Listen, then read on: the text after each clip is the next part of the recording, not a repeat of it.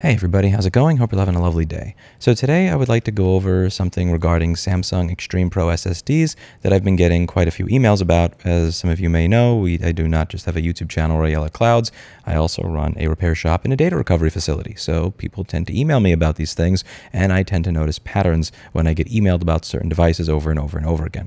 So I decided to actually start looking into this a little bit and I actually got pinged in a thread and also emailed by somebody who was experiencing a similar issue. I wanted to read it to you and point out that there is an issue tracker that I think would be useful for people who want to try to get to the bottom of the problem that they may be having if they have a SanDisk 4 terabyte SSD that is having this particular issue. This is on Reddit. Hello, editor friends.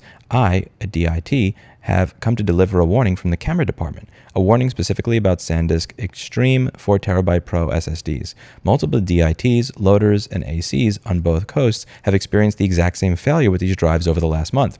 The symptom seems to be that after sustained write, they will completely lose their file system and it's a total crapshoot whether you can recover it or not. The primary way you will see this is that the drive will unmount and you will not be able to get it to mount again, despite showing up in disk utility. You can sometimes recover it using Disk Drill's file system rebuild, but occasionally that does nothing. It persists with any file system type. A few of us are working with a colleague at SanDisk to try and get this addressed, but in the meantime, we're collecting data to prove to SanDisk that it is more than a fluke.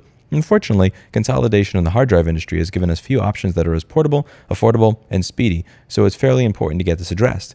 If you've experienced this, we would really appreciate it if you would log it at this forum with as much of the information that you have. We promise we aren't selling your info, only sending the failures directly to SanDisk so they can hopefully track down the root cause of the issue, and I'll include this link down below. I also received an interesting email from a viewer about this who had went to a convention recently and says that they had spoken with a representative. Just to be clear and for obvious purposes in this video, this is a random unverified email from a viewer that I am reading, so take that for what you will. I had ordered one of these drives earlier this year, but then had to immediately pay to return the drive after my dealer warned me of issues these drives were facing. My Film Tools rep let me know that they had pulled all SanDisk 4TB drives for sale due to multiple error reports. I then researched and found some obscure internet posts and musings of users experiencing drive failures and their inability to recover data or footage from these 4TB drives in particular. There was no official SanDisk press release or even any acknowledgement of the issue. I just checked today and still no official info from SanDisk. This brings us to the conversation I had at NAB Show 2023 in Las Vegas last month. I got to speak with the Western Digital and SanDisk reps at their booth. I explained how I was very disappointed the company had not acknowledged the 4 terabyte drive issues and that I had sworn off purchasing any further products until this issue had been acknowledged and rectified. The lead male rep then proceeded to explain the issue. Break this issue down into four main points. 1. The 4 terabyte drive error had to be identified before any fixes could be generated. The error was identified and determined to be a Mac only firmware slash controller encryption bit flip error. 2. Error, as described to me, is that Mac computers constantly run some form of encryption check, even when the computer is in sleep mode. This constant encryption query request stream was found to be overstressing the SSD controller chips and causing random bit flips. I can't remember if this only applies to newer M1 or M2 Macs or all current Macs. 3. Bit flip error was found to be an encryption flip, which results in catastrophic data loss. The bit flip causes the drive to become encrypted with no resulting encryption key being available. This is why no data can be recovered from drives that have experienced this error. 4. Error resolution will be a firmware update for the affected SSD models, which to my knowledge are only 4 terabyte models. Supposedly, they've applied this firmware fix to new drives in manufacturing currently, but to my knowledge, they haven't pushed the firmware out publicly yet. 5. I asked if this will be acknowledged publicly and was told emphatically, no, they will only publish the firmware quietly. As per that rep, the company will not acknowledge or discuss publicly their findings or reasons for the firmware update. 6. I asked if error drives can be fixed with the firmware update and was told yes. But of course, there's no recovering any drive data due to the encryption bit flip. Firmware will just make the drive usable again and supposedly no longer susceptible to the encryption bit flip error. In conclusion, I'm still disappointed that I was told Western Digital slash SanDisk will not publicly acknowledge the 4 terabyte drive errors, their cause, and the reasons for the firmware update release. I can only assume that SanDisk doesn't want to antagonize Apple by publicly highlighting that Mac devices were the cause of the 4 terabyte drive failures. I also assume that by only releasing the firmware update quietly, they are attempting to avoid recall or refund to users of these drives.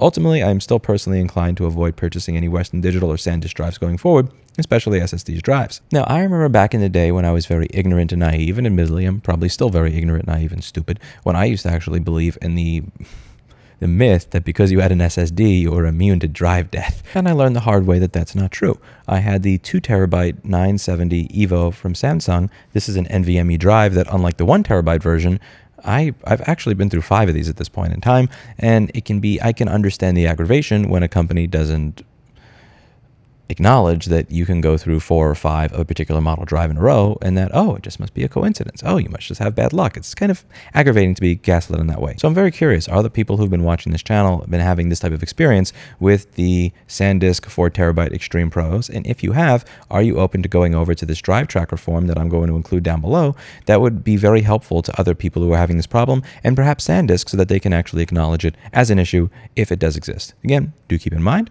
this is a Reddit post and a random dude emailing a data recovery company and me saying that I've gotten a couple of emails about people with SanDisk that have this issue, a little bit more than what I've gotten from people that have had, let's say, other brands of drives. So take it for what you will. Did this person actually go to this event? I don't know. Did the SanDisk rep actually say anything these things to him? Maybe, maybe not no real way to tell. But if this is an issue and something that could potentially save somebody lots of data loss, I think being able to log this type of information could accelerate a fix being pushed publicly, as well as some acknowledgement of it if it is an issue, and might just save somebody from having to go to rossmanngroup.com and fill out the data recovery form, which, while not exactly good for BlackBerry's eating habits because you might have might have to go back to Friskies if that's the case, would be good for the audience. That's it for today, and as always, I hope you learned something. I'll see you all in the next video. Links in the description down below. Bye now. Hey everybody, how's it going? Hope you're having a lovely morning. So, BlackBerry, you stay on the left, the mouse stays on the right. We've been over this. Hello everybody, how's it going? Hope you're having a lovely day. So, you can't just bite the mic cord. That's not how this works. No, sit. Sit, Barry. Be like Clinton. Sit.